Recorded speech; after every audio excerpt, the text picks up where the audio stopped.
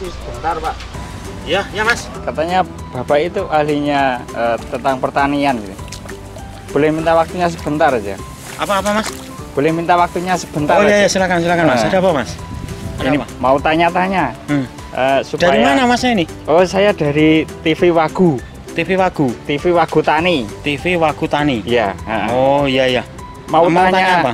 Ini tentang eh, biar suketnya bersih. Biar suketnya bersih. Iya, heeh. Pertanyaannya mudah biar sekali. itu. matun matunnya penak gitu. Oh gitu. Heeh. Jadi gini Mas. Ini maaf ya, bukannya eh, saya sombong tidak. Saya ini eh, ahli di bidang pertanian, ya. Hmm, Tidak hanya di pertanian saya ini. Saya ini ahli di bidang eh, kimia, ya toh, biologi, terus ahli kedokteran. Saya itu oh di di medical pun oh sangat luar biasa. Saya ini eh, anggap aja ahlinya ahli, Mas Ahlinya. gitu. Hmm, ahlinya ahli saya nih. Saya sudah biasa memberikan apa ya seminar-seminar gitu udah biasa saya. Hmm, Hmm. Tentang pertanian aja atau mungkin yang lain? Wis bermacam-macam. Saya sering diundang ke sana sini mas.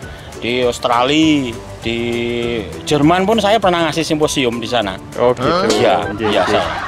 Jadi kalau mengenai tip- suket ya? Tip-triknya ini. tips Eh, triknya, so, lo lihat sendiri toh, bagus toh punya saya, sawah saya. Bersih gitu kan, nggak ada suket satu pun nggak ada. Jadi begini, ini maaf ya, ini saya mau Iya, iya. menjelaskan sedikit ya. eh, Jadi gini, berbagi ilmunya gitu. oh ya nggak apa-apa. Jadi mengenai reboisasi dari suket itu, jadi eh, suket kan menghijau, jadi dia reboisasi kan. Nah itu cara mengatasinya itu ada berbagai cara mas, ada berbagai sistem kalau kita bicara, ya. Jadi sistem yang pertama itu sistem eh, ekar-ekar pitik atau manual, yaitu Oh, dengan cara dicabutin itu. Oh, Itu cara kuno, Mas. Itu ya. digerabuk-gerabuk iya Hmm.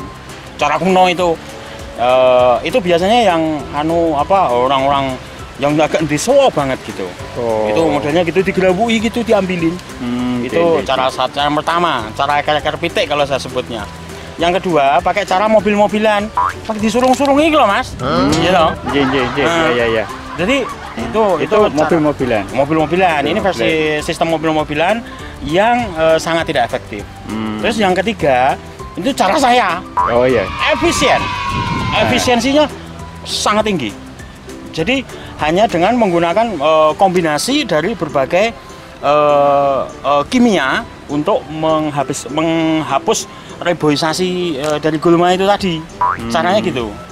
Ini saya perlu menjelaskan nggak yang kimia ini? Iya, iya. Jadi gini, sebelum kita proses pembuatan kita harus melihat di periodic table dengan kesesuaian antara enceng gondok elektron ele enceng gondok itu nanti disesuaikan dengan periodic table itu harus sesuai jadi kemudian kita kita masukkan ya toh kita masukkan ke rumus Pitagoras di, di dalam rumus Pitagoras itu nanti kita akan menemukan koefisiensi yang sangat eh, konjungtif sangat susah ini bahasanya mas ya tapi Iya, maaf iya. ya eh. saya ahlinya ahli mas Oh iya, iya. ahlinya iya. ahli Eh.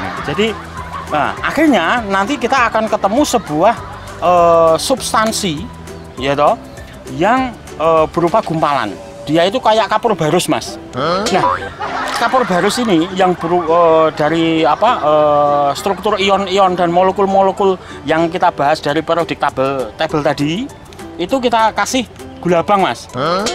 Gula bang.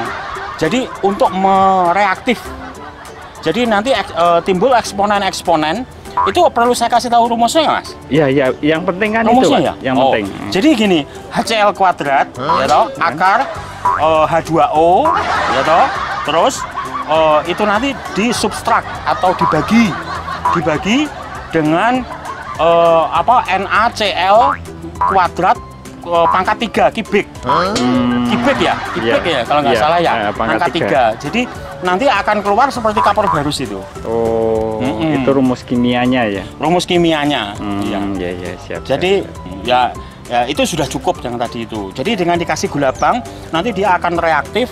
Kemudian dia eh, reaksinya ini bersifat eksoterm. Wah, bahasanya tinggi mas ya, maaf tinggi ya. banget, tinggi banget Hmm, ya. ini Tapi saya eksoterm. eh, eh, agak nggak sedikit nih. Hmm, Eh. Jadi nanti dia akan panas ini, timbul panas dari reaksi itu. Kemudian dia akan mereaksi elektron-elektron dari enceng gondok atau eh, reboisasi gulma yang tadi itu, oh, dia akan eh, mati-mati-mati dan dia akan mati.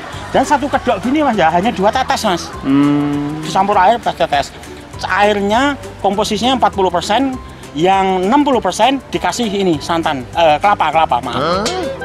Kasih kelapa. Dengan dikasih kelapa itu, eh, dia eh, apa namanya ion-ion yang tadi sudah direaksi oleh gula bang akan terbungkus. Gitu. Oh, gitu. Nah, bahasa saya tinggi mas, maaf ya. Tinggi. Maaf, bahasa saya tinggi. Jadi begitu, Hmm. karena saya ahlinya ahli mas. Hmm, iya, iya, iya. Ahli Jadi ahli. tingkat efisiensinya sangat tinggi Gua sekali. sangat tinggi, segini ini. Ini kasihnya dua tetes. Kalau lebih dari tiga tetes, wah, anu eh, akan menginfeksi, Hmm. menginfeksi dan eh, ilustrasinya jadi berbeda nanti. Ke tanaman padinya. Tanaman padinya, Oh, iya, iya. hanya dua tetes. Hmm, iya. Dua tetes, saya ahlinya ahli mas, Hmm. gitu. Masnya paham toh? Enggak.